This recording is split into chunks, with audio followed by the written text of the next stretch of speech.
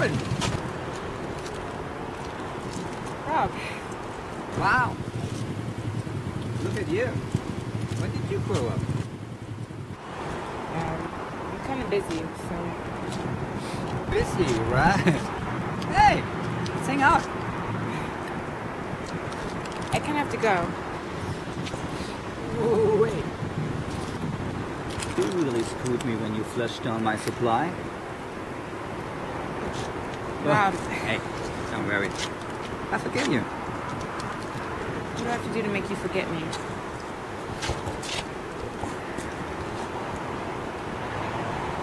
Just come over my place tonight with some beers, some fun, you know. And then we're done. right? Sure.